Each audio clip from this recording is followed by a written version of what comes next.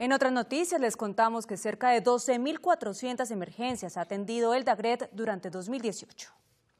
Los accidentes de tránsito y los desplomes de árboles son los más recurrentes en la ciudad.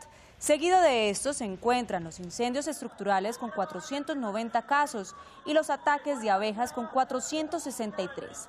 Las comunas donde más emergencias ocurren son La Candelaria, Laureles y Castilla. Además, con la llegada de la temporada de lluvias, los incidentes relacionados con inundaciones y daños estructurales aumentan. Por ello, desde el DAGRET realizan algunas recomendaciones